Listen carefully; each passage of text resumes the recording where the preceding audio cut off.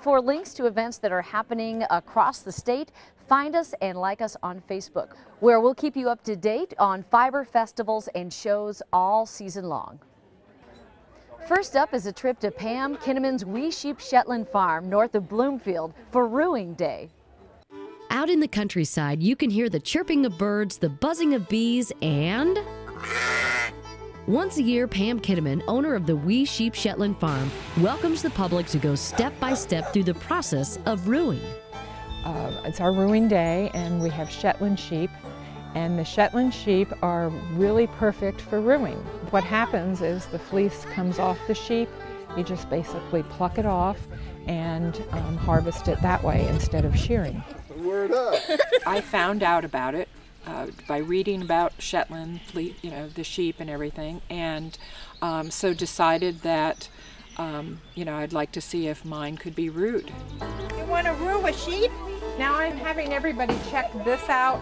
These are some pictures of people in the Shetland Islands rooing back in the 1930s. The benefit to rooing is um, not just the history of that this is the way it's been done for so many years in the Shetland Islands, but also it's uh, nicer to the sheep, I think. You know, they don't have to worry about getting nicked and being put upside down, you know, and having the shears. Basically, it's kind of rough on the sheep when they're shorn. So this is a lot nicer for the sheep.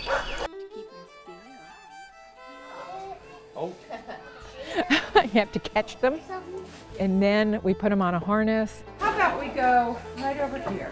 But then they can pull off the fiber and put it in a bag. Here's her bag whenever you're ready.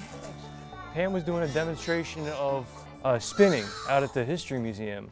And I was out talking to her then and she said, oh hey, we're doing this rooing thing. And yeah, she told me all about it and that sounded really, really neat.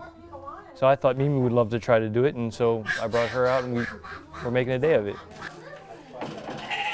To get closer to animals, it's kind of neat. You know, she interact with animals at this age, she's not going to be afraid of them later. Yeah, he's going good. Once all the fleece is off, it's spun into yarn or sold to spinners who will spin it themselves. We do have a shop that people can visit if they'd like, and we have the the sheep's name on it and the year so that I will know in the future how long if I haven't sold this fleece or I haven't spun it myself. All right.